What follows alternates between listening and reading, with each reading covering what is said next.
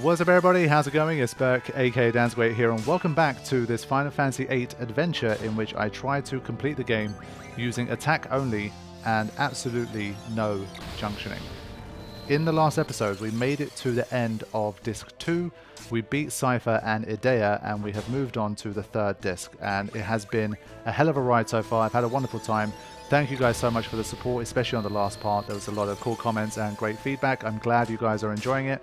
Seeing me kind of dig deeper and investigate the game and give you guys all of the new information that I've been learning. And of course, a few strategies here and there to hopefully make things a bit more exciting. And so from here on, we are starting to get towards the end of this series. I hope you continue to support it. Please remember to drop a like for this one. And to everybody that's joined up the Patreon for the early access, thank you guys so much as well. The series has been a great success. So without much further ado, let's move on because this part is going to be a little bit different to what happened in the last one. And so let's get into it and talk about it.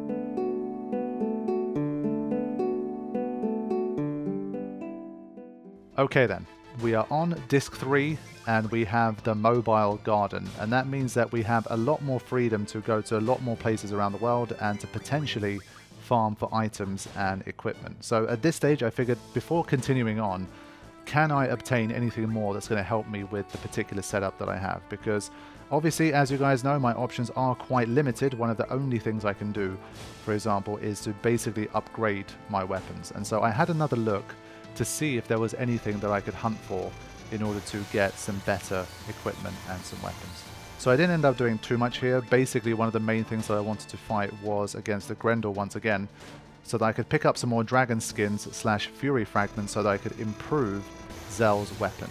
At this stage, I'm going to gloss over this stuff a little bit more to kind of keep things moving. You guys get the idea. I'm not going to bullshit you and say I got items I didn't get.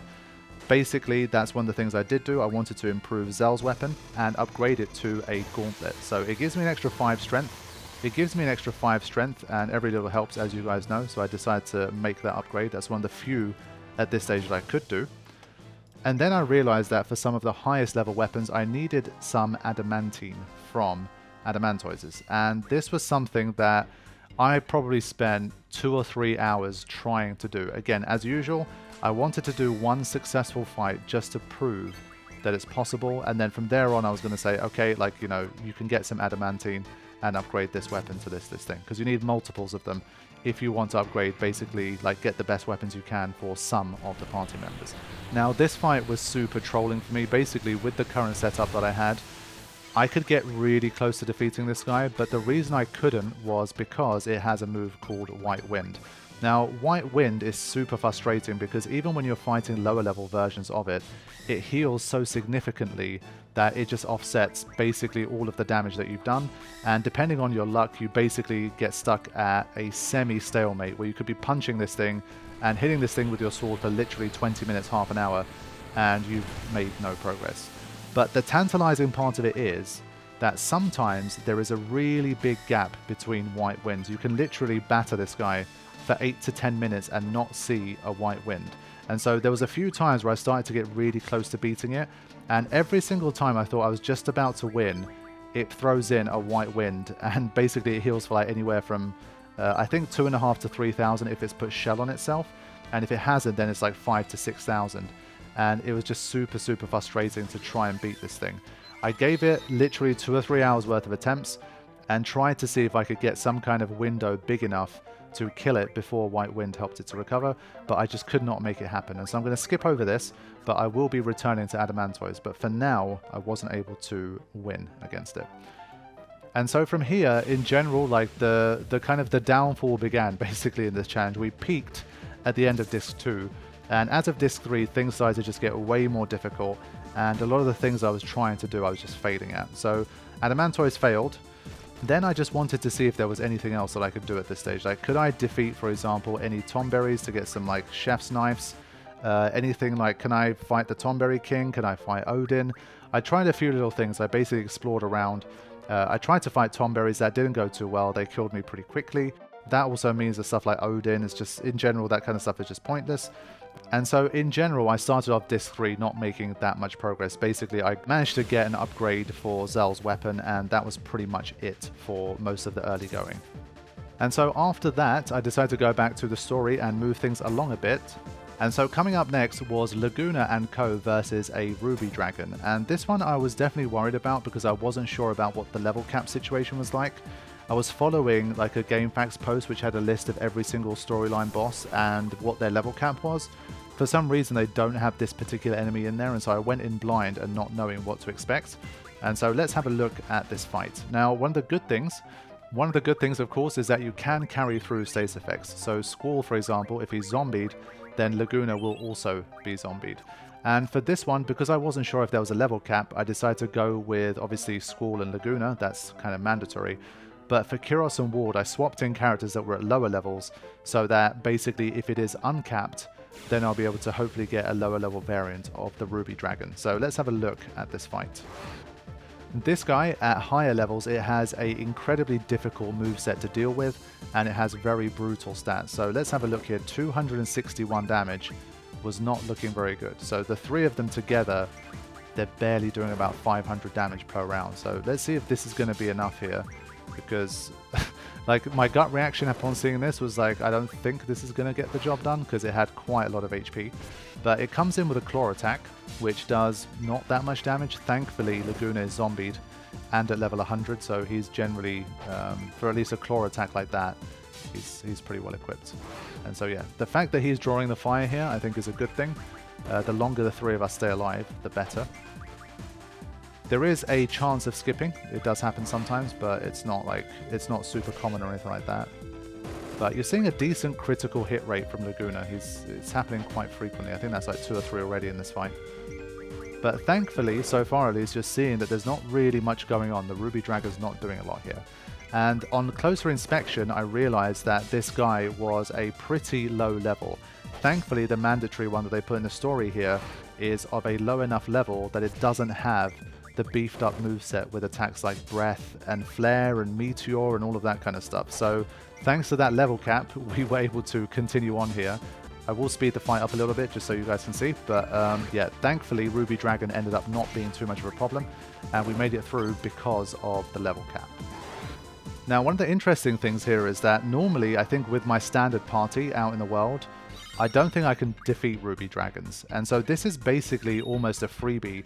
And even the lowest level one, it drops a star fragment. There's a 5% chance. So there, this is one of those fights where if you need, let's say, Fury fragments for whatever reason you can't beat Grendel, or you need star fragments, which are difficult to obtain normally, this is a fight that you can basically keep repeating until you get the drop that you need. And so that's why this battle is pretty unique because Ruby Dragons, with these restrictions in general, they're just not an enemy that you can defeat. They're just too powerful.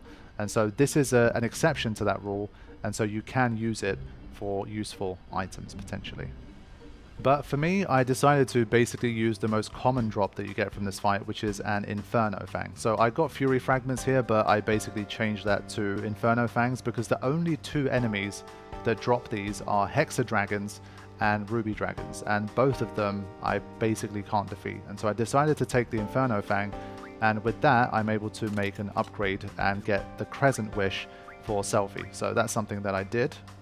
And then from there, I decided to say, you know what, let's continue the story because I don't think that there's too much more that I can do in terms of uh, weapon upgrades at the moment. And I just wanted to push forward and see what was going to happen next. And so I went towards Esthar and the next boss battle in this challenge. Okay, my friends, here we go. The next boss fight in the Final Fantasy VIII Attack Only, absolutely no junction challenge is Abaddon. And this is where the challenge ended.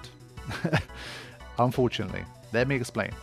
As you're watching the fight here, this guy has 17,000 HP at the level cap. It's only a level 39. 17,000, level 39, you think that can't be too bad. But you're seeing Squall only doing about 140 damage here. This guy is undead, therefore it's taking half damage from any physical attacks. That's stage one. So already uh, our damage output is looking pretty feeble against it. That's already a very bad start. It has some pretty hard-hitting attacks there. It hit for it hit for 410 against a zombie, so that's already not looking good. Uh, this was like my first kind of you know test fight, and then it stands up. And look at the damage now: 11, 4, and 5. When it stands up, I had a look at the battle script. It gains a plus 500% increase in defense. So as an undead and as uh, a 500% increase, it basically has a 1000% increase in its physical defense and it can fire off Confuse while it's standing up. So I think you're putting the pieces together here. Uh, you can see that there is no RNG situation here that really is going to help you out of this one. And I was really sad because I wanted it to be like a more significant story boss that put an end to this part of the challenge. Uh, but unfortunately, it was a bad one. There genuinely was no way that I could find here. So yes, there's been a few fights where I said, oh, I thought it was over, but then I found this, I did that. For this one, I genuinely could not find a way. Um, I tried like triple zombies. I tried one petrified, two zombies. I tried two petrified and one zombie. Um, I just did everything I could. Um, I had a look at the battle script um, in hindsight. At this time, I didn't have access to battle scripts yet, but I looked at it in hindsight, and there's no like holes that I could find that I could exploit. Um, unfortunately, the chances of it skipping turns is also low. I believe it's a bit of a complicated battle script, and I'm not that great at kind of deciphering it. But at best, there's a one in five chance that it skips it. Uh, it might not even be that. If I, I, might have misunderstood it, it might be even rarer than that. But basically, the eye test also showed me that it almost never skips turns. The only time it seems to do it sometimes is the first turn after it kind of sits back down after it was standing. Uh, other than that, there's there's basically no holes uh, in this defense, unfortunately. And so this mixture of just insanely high defense that I cannot get around, uh, the constant confusion that you have to deal with, where you either hit yourself or you have to try and hit uh, your teammates in order to kind of snap them out of it, so do more damage to yourself. And the fact that it has 17,000 HP while having basically a plus 1,000% in terms of defense uh, against a normal sub, it just proved too much. And unfortunately, um, I think in my best attempt I got it down to like 7,000, 8,000, something like that. And in the grand scheme, that was like a really good attempt. And it was barely like 60% of its maximum HP. It was just nowhere near. Uh, maybe there is some kind of, you know, astronomical RNG where you could grind this battle for months and probably find a way through, but that's where I personally drew the line. It was like, okay, you know, uh, I need to get the series done. I need to complete uh, the challenge if I can. And so this was the time in which I had to, unfortunately, end the no junctioning, like absolutely no junctioning part of the challenge. So I will continue to show like the, this battle in the background so you can see how it worked out. And I will tell you guys about the next chapter in this challenge as we push ahead to try and complete the game. So from here on, I wasn't really satisfied with just saying, okay, now I'm allowed to junction. I'm just going to basically go to the easiest form of this challenge that I can, where you could basically, for example, you could junction GFs, you could equip draw onto your characters and then just draw from like the world points. Um, just like stack lots of um, magic that you can get from around the world. And then just start junctioning things to stats and try to get them as high as possible. And just you know junction to elements junction to status elements do all of that kind of stuff. And so i thought that's a bit of a push. Uh, i wanted to find some kind of middle ground where i still found it like interesting in terms of the challenge. And it felt as close to having no real junctions as possible and so this is again like this is completely made up from from my point of view. Like at the end of the day we're still going by the attack only mantra where when we are in combat we are only using the attack command. So that still remains the same. But in order to keep things interesting for me, the way I decided to tackle it was to first of all junction GFs, obviously, and then only use the passive abilities that we get. Because if there's one thing we don't get in this game, is basically you don't have armor and you don't have accessories. You also don't have stuff like materia. And so if you take all of those things away, it's so restrictive compared to Final Fantasy VII and Final Fantasy X that I felt like the best place to start would be to use the GF's passive abilities, which to me are basically like the kind of abilities that you would find on accessories or on armor if you could equip them. So they don't change, like you don't junction directly to your stats, but you use the passive ability slots to give yourself some benefits. So that's the first thing. And the second thing was basically allowing myself to start using things like card mod, because we do have Quetzalcoatl, Quetzalcoatl, Quetzalcoatl, I don't know how you pronounce it, that guy knows the card mod, and with that, obviously, we can start to get certain things that we previously couldn't. So that was my starting point. I wanted to use card mod and I wanted to be able to junction GFs and use their passive abilities. Now, as luck would have it, we literally only have three GFs so far in this run. Because we can't use the draw command in battle, we can't draw any of the ones that we could have got from boss battles anyway. Other than that, the only other GFs you can get are the ones that you can defeat in battle, and they're too powerful at the moment. We can't defeat any of them in battle either. So it was kind of funny. I literally had one GF for each character to work with here, and so that's basically what I did. I gave Squall Ifrit, I gave Irvine Shiva, and I gave Zell Quetzalcoatl for now, and I decided to have a look at their passive abilities. Now, straight off the bat, uh, Ifrit had a strength plus 40 and a strength plus 20, and so those are the ones that I equipped on Squall, and that already gave him a nice strength boost to, to begin things here. And unfortunately for Irvine and Zell, in terms of passive abilities that they inherently have, that was kind of it. I didn't really have anything that was that useful to me from there on. And so then began the quest of trying to understand which passive abilities can I get for my GFs and are they obtainable in this particular run.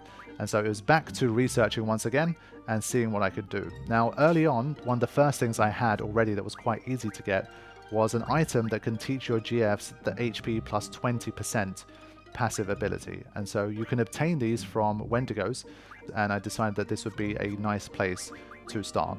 And so that's basically what I began to do, and you can see how my stats have started to change as a result. So Squall at level 100 gets a nice 60% strength boost, and that already basically makes him a lot more dangerous and way more able to dish out big amounts of damage against even enemies like Abaddon, at least while they're sitting down.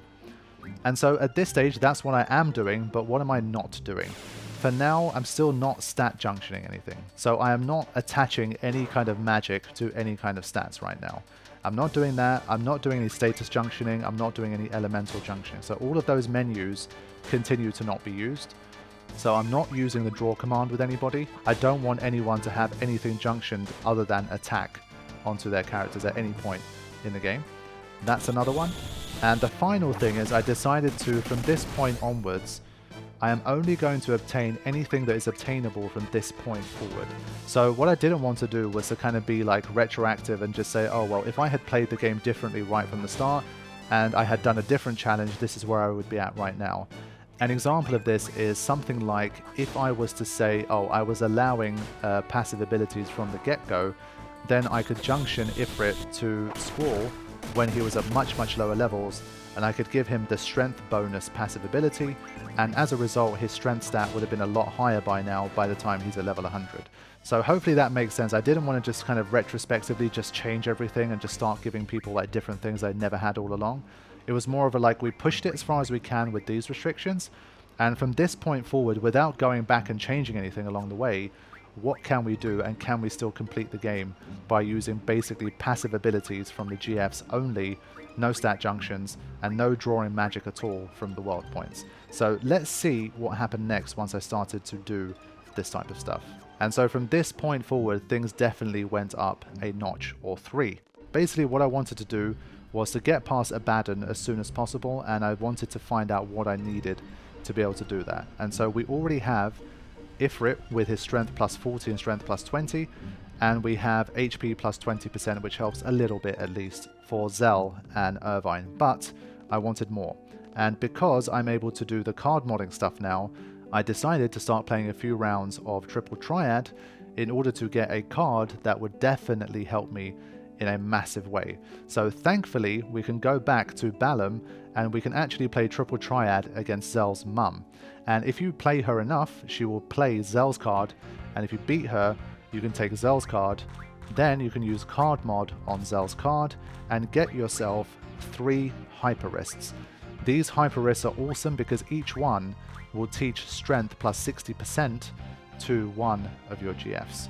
And so since we only need three GFs and we only have three GFs, three is the magic number here. And so I did do all of that stuff. I did it manually because I hadn't played Triple Triad in ages. But I did beat Zell's mum, I got Zell's card, and ultimately I ended up getting a plus 60% strength on all three of my characters, which was a massive help, obviously. And this is where we really start to, to take things to the next level and get much stronger on our way to trying to complete the game with attack only.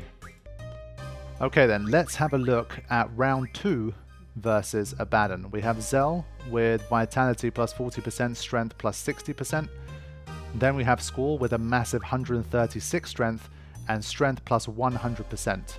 And then we have Irvine with 104 Strength as a result of his Strength plus 60, and I gave him an HP plus 20% as well. And so with this, we are ready to take on Abaddon and see if with this souped up strength we're able to actually take him down despite his undead status and that super high defense when he's standing. So let's have a look at this fight. This was the proper version here and we'll see how much of a difference this stuff made.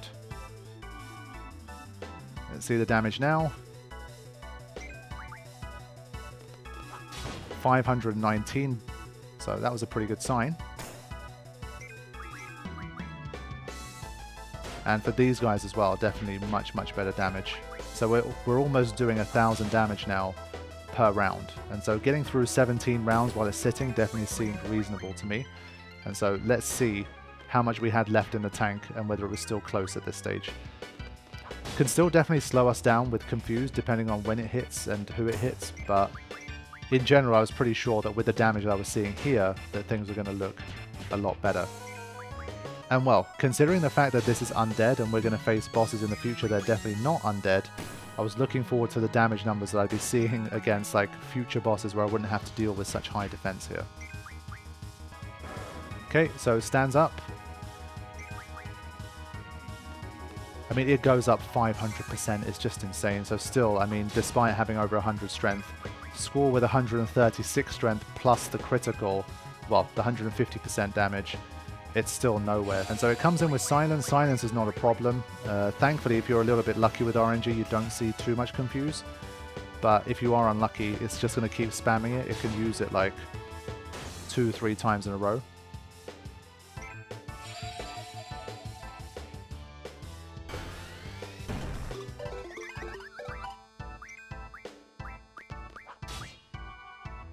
Yeah, so this was a bit unlucky here. Zell got confused and we end up doing a double hit.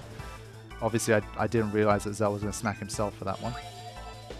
Blind comes in and it hits Squall, which is generally okay here. Could be worse.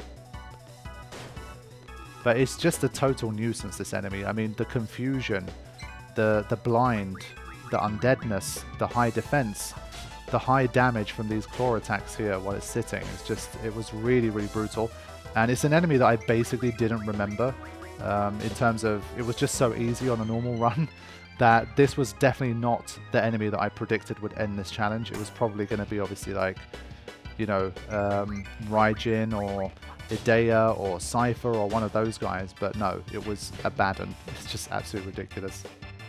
And so yeah, even with this setup, it took quite a long time. Again, I'm going to skip through the battle a little bit here to, to move things along. But yes, I did indeed manage to defeat Abaddon and finally continue the challenge in the slightly nerfed form. So we finally make it to the wonderful city of Esthar.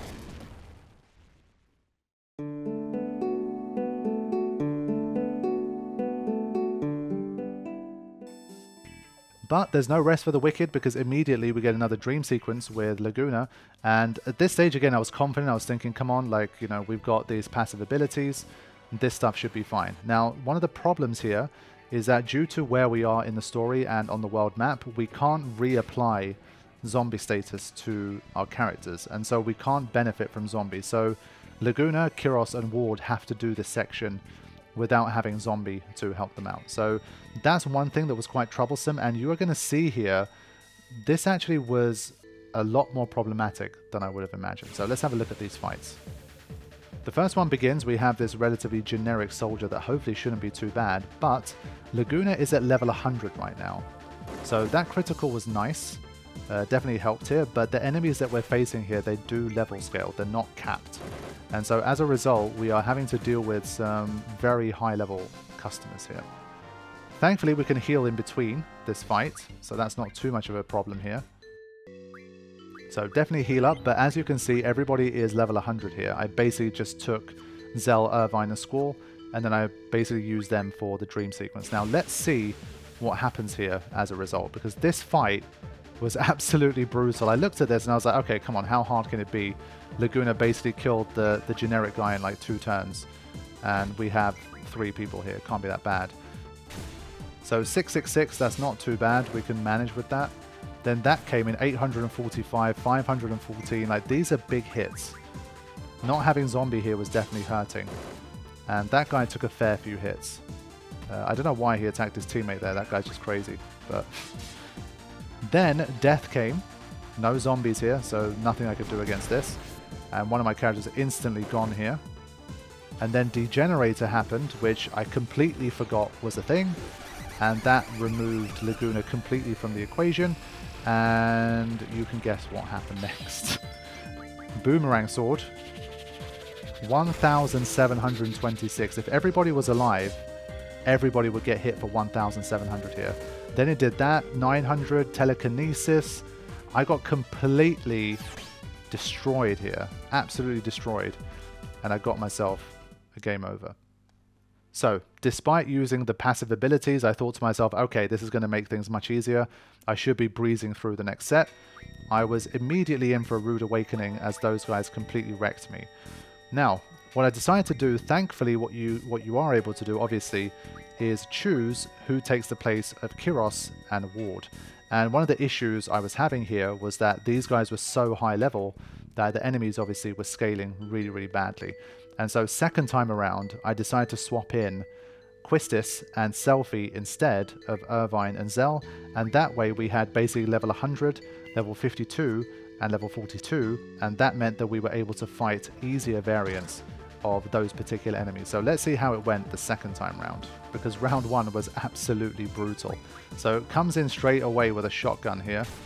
678, that's, that's generally less damage than we was doing before. And this time I'm taking out the guy in the middle because he's got that boomerang thing and the death ability. So I'm changing my focus here. It's just got a really large array of abilities. Like it's got the normal claw, it's got the shotgun, it's got death, it's got boomerang, it's just got so many things that can hurt us here. But thankfully, as you can see, they're, they're much like lower um, health and damage here. And well, this guy, you need a little bit of RNG for it to not keep using Degenerator. And so blind was something that we could generally live with for now. It's just like, if it forced you to use your level 100 characters here, I think I would have been really stuck. Like, we would have needed some, some solid RNG uh, to beat these guys given the circumstances. So Degenerator does come in. And thankfully it's Kiros. If it was uh, Laguna here, it might have been a bit of trouble because he is obviously the, the main damage dealer in this particular scenario. But that was a really nice critical and almost dead. But then it did a second Degenerator. So this is what I mean about the RNG. This was just brutal. But thankfully this one hit Ward as well. And so it left itself one-on-one -on -one with Laguna. So yeah, these fights, man, they were they were tense. Like I, I was worried that I wasn't going to be able to get through. Did a telekinesis. You can see how tanky it is as well. Like we haven't been able to kill it yet. So even at these levels, it's it's not playing around. I don't know if it uses Degenerator when there's one person left. Hopefully it doesn't. I mean, I got lucky in this fight and it didn't end up using it. But you can see, I mean, it's withstanding so many attacks here. Just really tanky, difficult, annoying enemy. But thankfully Laguna gets another critical and we get the job done. So that was a pretty fearsome encounter there. I mean, that could have gone very, very wrong. Thankfully, we pulled through. But the fun is not over yet because there are another set of battles that are mandatory for Laguna, Kiros and Ward. And so let's have a look at this one. This one was also quite difficult. This enemy in the background was definitely a problem. And so we had to try and take these guys out as quickly as possible once again. Pretty nasty attacks here.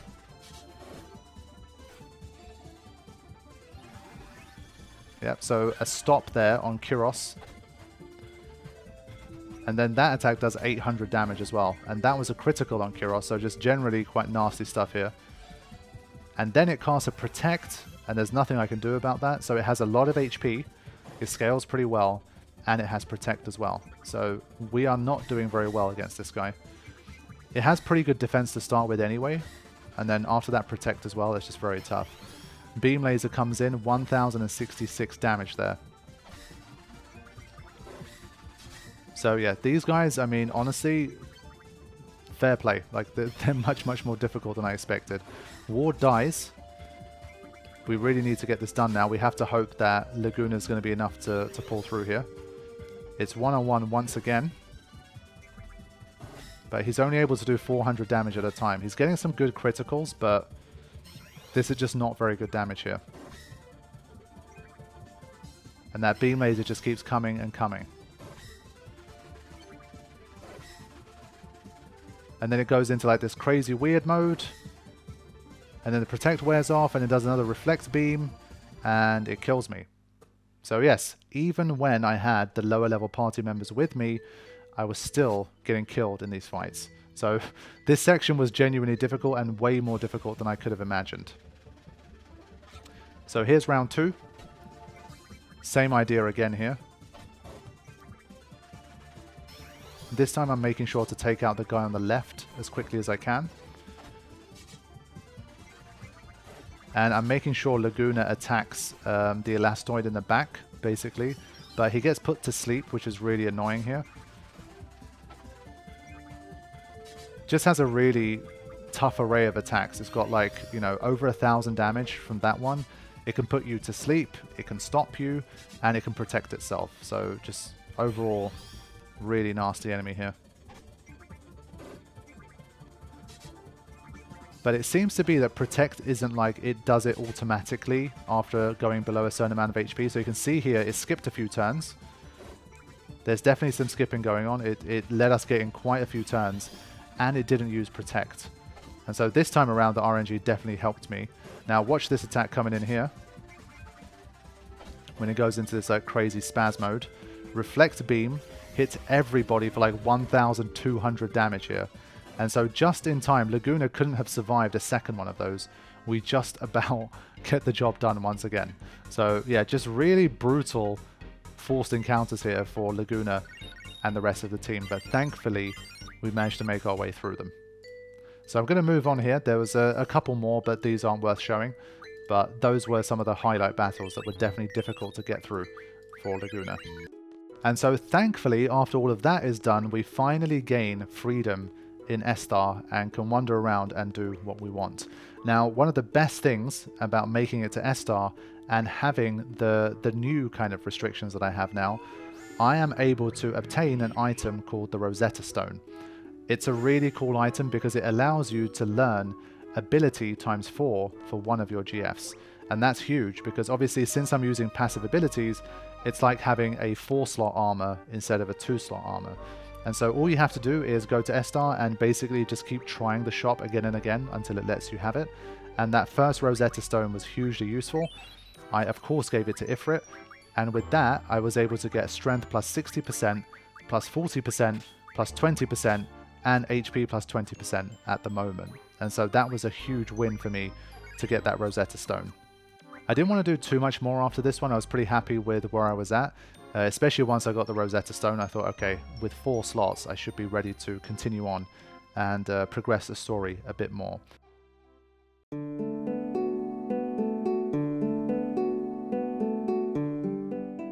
So this section is definitely a very story heavy one once all of this happens and you can avoid a lot of the kind of random encounters that you need to fight anyway. And so I will progress things on quite far. There's going to be quite a big jump here and I'm going to rejoin you guys right in the heart of one of my favorite sections of the game, the outer space section where Squall rescues Rinoa and the two of them have to spend a little bit of time together and make their way through the propagators and bring it home. So let's join them in a propagator fight and see how that went, because that was the next basically mandatory fight we had to have in the challenge.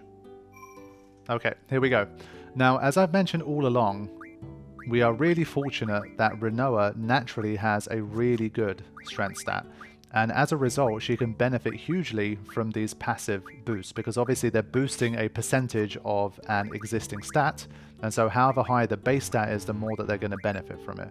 And so this was a nice combination. And so all we needed was for Rinoa to have a nice plus 20% HP and a plus 60% strength and with that she basically had the same strength as Squall already with only two slots which was really awesome and so these two became a real power couple here with over 140 strength each and 5000 HP to boot. But was it going to be enough against the propagators? Let's find out. Okay, here we go. All of these guys are basically the same, so you can defeat one of them, you can defeat them all. So we're only going to show one fight here. Let's have a look. How much damage? 2,500. This is what it looks like when they don't have that ridiculously high defense. It does hit us for a 1,000, admittedly, that's beefy. But then Rinoa with a critical hits for 3,300 damage. And things are just looking completely different to how they were in the previous session, thanks to the, the passive GF abilities. So yes, you would have noticed that the propagators do not have that much HP, and that's because they are level capped at level 42, which gives them 5,200 HP. And so that means that for this particular section we are more than safe, and I don't need to show you guys anything else. Uh, as much as it is basically one of my favorite sections from the entire game, we need to move things on. So Squall and Rinoa take care of business up in space, and then we come back down to Earth to continue the story. Okay, my friends, so once we return back, Rinoa gets taken away temporarily, but we can go and get her back without too much issue. And now that we have her back, I decide to now go for a proper farming session now that I had my strength plus 60 and everything prepped as well. And so before heading into the Lunatic Pandora and trying to complete Disc 3, I decided to try and get a few more items so I could upgrade some weapons to their highest possible level. So there's a few highlight things I'm going to talk about here. Again, I'm not going to go through like the entire list and show everything fully. But basically, one of the things I did fight was a Triface, because that was an enemy that I needed to fight for Curse Spikes. And you can see in the background here, you can encounter them in the island closest to heaven, I believe it is. And even with sort of the, the level scaling and all of that stuff, those are one of the few enemies that you can still defeat on there. And so thankfully with my party kind of set up and with the passive abilities that I have, I was able to defeat Trifaces and that meant that I had Curse Spikes at my disposal and it was something that I could farm for items. Aside from that guy, one of the interesting ones that I was kind of unsure about whether I could defeat or not, even with this kind of thing going on, was the T-Rexaur.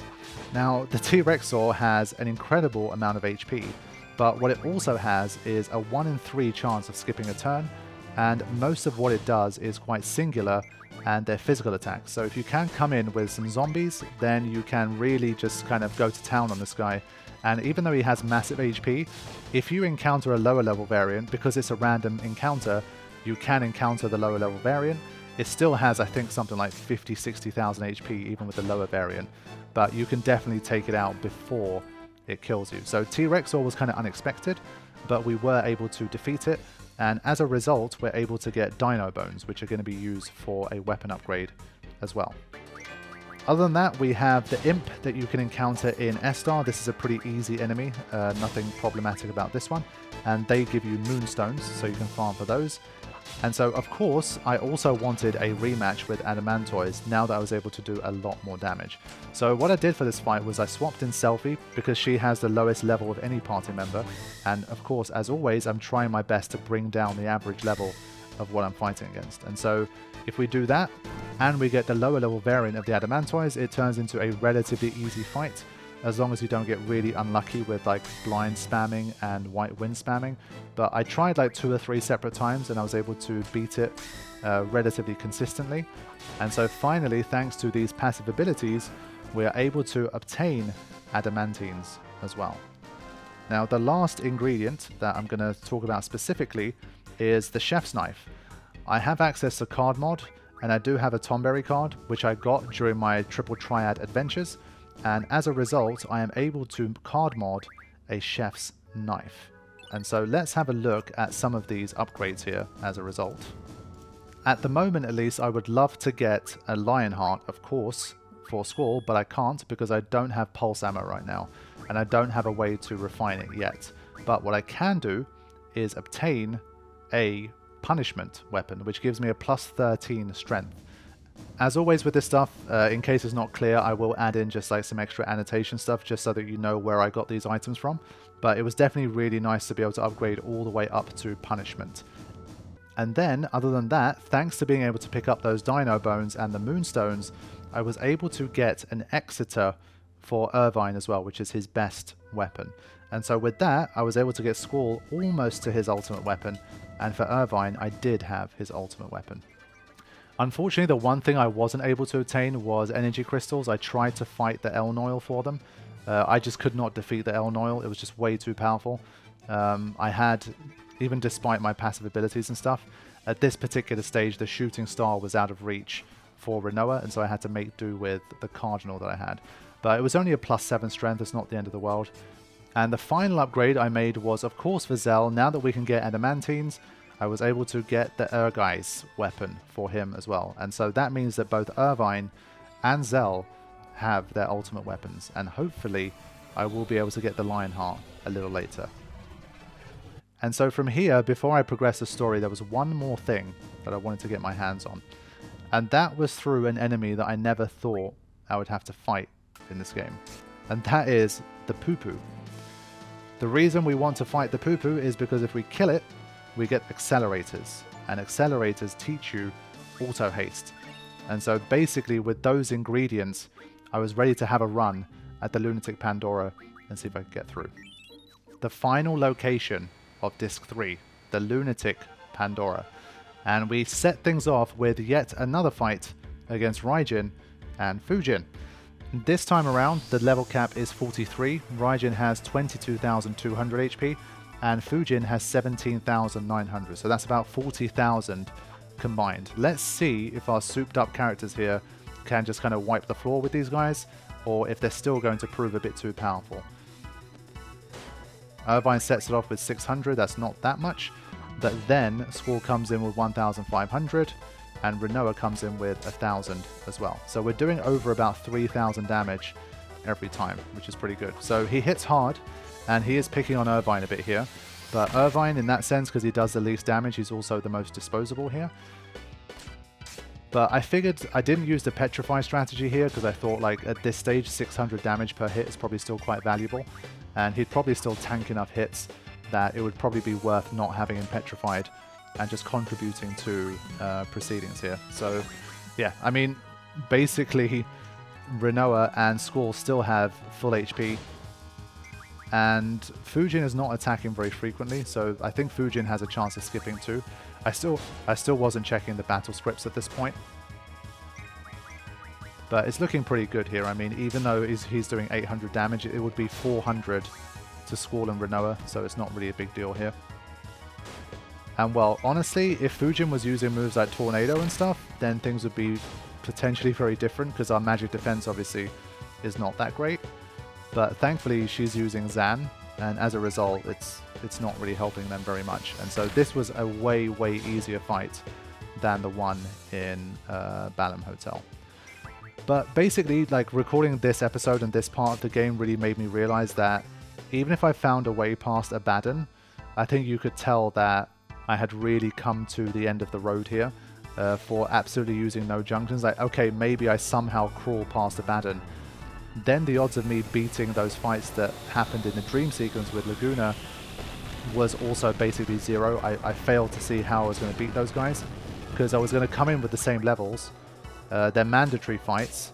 They are not level capped and I would be doing way less damage than I was before. And so as a result, like I, it, it basically was the end point. Like one way or another, even if I beat Abaddon, then it would just would have been basically the Laguna dream sequence where things would have ended. And so disc three was was very much the part of the game where it was just like, okay, this is too much. You cannot continue with these restrictions, uh, no matter what kind of RNG you're trying to farm or whatever strategies you come up with.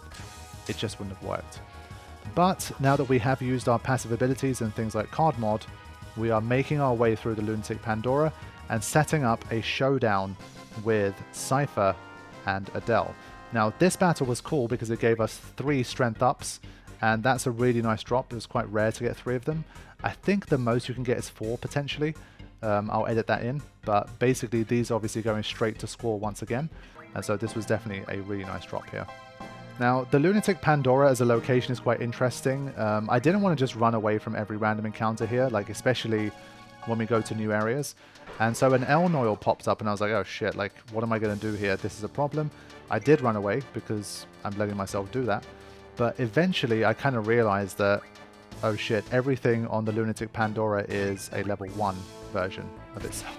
So for these like hardcore enemies like Elnoyle and the Behemoth that's just appeared, it doesn't mean that you can kind of kill it in one hit, but they are so kind of inferior to their, their mid slash high tier versions that if you really do need to fight your way through here, let's say you have like a, a no escape rule in your particular challenge, it's definitely doable because you don't fight anything beyond the level 1 versions of the enemies in here.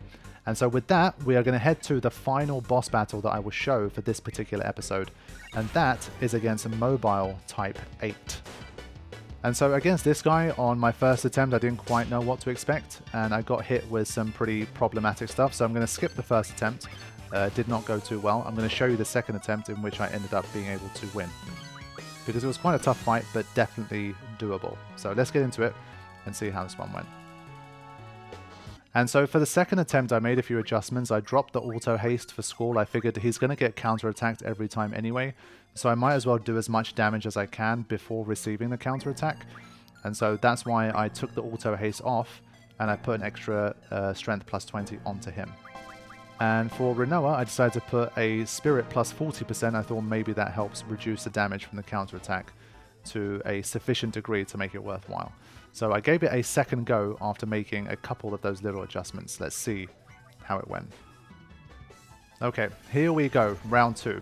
Now, from the first attempt, I learned a few things. I learned to not attack the probes because you don't really do any damage anyway. And so this time, I was fully focused on the main body here. Um, even after, obviously, it does the whole, like, releasing the probes or whatever, it was uh, it was going to be me making sure that I focus on the main body. We did get an Angelo Rush this time, uh, 3,000 extra damage there. Angelo Rush is one of those things where I've said it, like I personally don't like it, um, and if it's the difference maker in a fight, I kind of I prefer not to, to consider it or use it. But obviously, there's the whole argument that it's it's also a passive ability. I mean, it's not something under your control, so why would you not use it? And so that's also very fair. It's just a completely like personal thing how you want to to treat it really. And so for me at least, um, I think this is another one of those fights where you can basically win without using it. But, you know, it did definitely help. But it's definitely doable without, I think. So this is the stage of the fight that's critical. Basically, Squall needs to be the one that stays alive the longest. And he does. And so you can see, I mean, it's totally fine. Uh, if you had 3,000 less damage, I think Squall would have definitely done like one more attack at least to be able to do it. And so that was mobile type 8. And the eagle-eyed amongst you would have noticed that it dropped something called a laser cannon. And that is exactly what I needed to make Squall's Lionheart. So this actually worked out really, really perfectly. And so the final thing I will mention for this episode is that I used those laser cannons and with that I was able to basically procure all of the individual items that I needed in order to get the pulse ammo and get Squall's Lionheart. So that's where I'm going to end this particular episode. It began on a bit of a downer because, of course, Abaddon put an end to the, the absolutely no junction version of the run, which was a shame. But from there, once we started to use our passive abilities and the card mod and that kind of thing, then things started to ramp back up again, and we are marching towards the end of Disc 3, and by extension, towards the end of the game. So I will see you guys soon for the next episode in which we are going to fight Seifer and Adele and try to get onto Disc 4. And once we get onto Disc 4, the only thing that stands between us and the ending of the game is to get through Ultimecia Castle and fight Ultimecia herself. So we are almost there, my friends. It's been a really, really fun journey. I am looking forward to sharing what could potentially be the final episode with you guys for the next one. As always, early access is going to be available on Patreon alongside some other perks, and I would appreciate anyone who hasn't checked it out already to have a look on there because it supports the channel in a huge way and helps me to continue to make these wacky projects for you guys to enjoy on the channel. And so with that, I'm going to wrap things up. I'm really looking forward to sharing the finale of this challenge with you all, and then moving on to whatever we're going to get into next on the channel when it comes to this type of challenge material. So I will see you soon. Thank you all for watching. Thank you for the love and support. Please remember to drop that like on this video if you haven't already, and I will see you for the next one.